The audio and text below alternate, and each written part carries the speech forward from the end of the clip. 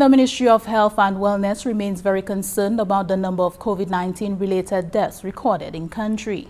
The island has recorded a total of 47 COVID-19 related deaths to date, and Chief Medical Officer Dr. Sharon Belmar George stated that every death is one too many. Individuals who have passed away range in ages from 21 to 91 years. Of the 47 deaths recorded to date, 81% have occurred in the 50-plus age range, and males account for the majority of deaths. Dr. Belmar George noted the link between the risk and underlying illnesses in terms of poor outcomes for COVID-19.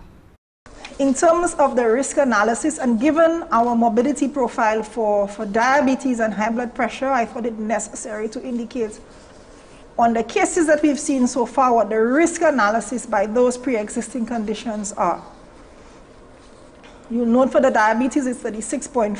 For high blood pressure, the, the risk ratio that is, is 33.9. And for that, both diabetes and high blood pressure is 32.1. So as much as possible, our persons in St. Lucia, we know we have a problem with diabetes and high blood pressure we need to ensure that your diet, the necessary exercise, and that you remain compliant because this is one of the ways that we, and a very important way that we keep healthy, we keep our resistance up as we manage um, COVID 19. The chief medical officer indicated that there is a wide range of underlying illnesses that puts individuals at a higher risk when they contract COVID-19. Therefore, a lot of the Ministry of Health and Wellness strategies are focused on protecting high-risk groups, both in terms of age and pre-existing conditions to ensure their safety.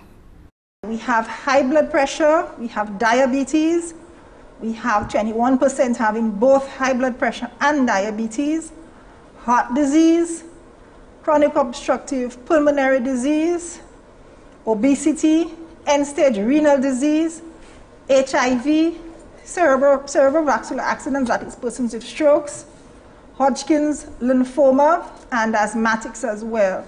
So for us locally, those are the pre-existing conditions that we note with our um, COVID-related deaths. Now, we, we use the term COVID-related deaths because um, we, our policy of um, testing everyone who passes away, some of those cases were from testing after passing away. Some of those persons um, did have um, serious other underlying conditions, although they may not have developed the, the COVID-19 related pneumonia.